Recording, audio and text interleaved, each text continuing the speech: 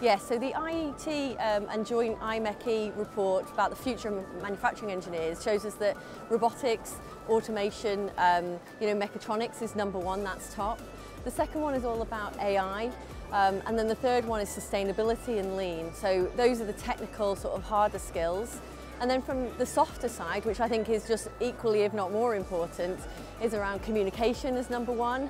Um, number two is all around um, creative thinking, which is massively important. And then the third one is um, the, the, the third one is design thinking, um, which you know obviously in, in engineering roles is also really important. So I, I think it's interesting to see um, for the future, for 2040 for example, I, I think we're going to see more move towards automation, robotics, you know, automating data, automating um, manual and physical um, activities. And then actually what we'll see is that creativity is then really important because you can't automate creativity and you can't automate the design thinking. You can't get an AI to do that for you. So I think that's why it links in really well, the, the two um, soft and, and hard skills, technical skills that the report has identified. Um, yeah, they're spot on for the future. Again, um, the joint IET and IMechE report identified a number of, um, well, five sort of key trends for the future, and I'll touch on a couple of those around firstly energy. Um, so I think it's really important to understand how all of us can be more energy efficient um, into the future.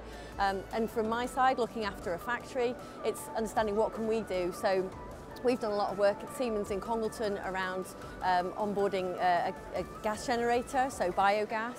Um, we've worked with a local community project. Um, we're situated right next to the River Dane in Congleton um, and there's a weir, Havana Weir, which is just about a mile um, up the river.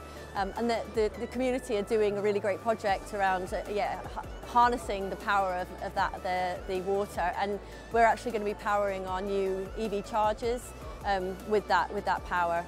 Uh, and then there's things like solar panels that we're doing and we've also got like an energy efficiency program. But I think it's really important for all of us to start thinking what are the things that we could be doing around that. Um, so yeah, so uh, also sustainability, the circular economy was one that was identified.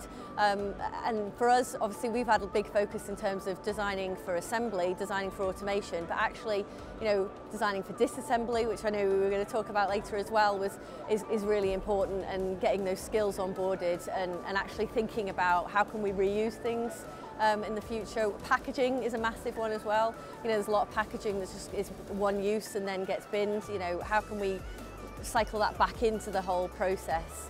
Um, and probably transportation is another one that I pick up on. Um, so transportation, uh, it's been really interesting in the last year, obviously around the supply chains, um, looking at globalisation and whether actually we're going to move towards deglobalisation, um, given the challenges that a lot of the supply chain has faced. Um, and so, so it'll be interesting to see, you know, that being one of the key things that's come out of the report. Um, will we see more onshoring back into the UK to help with the supply chain problems?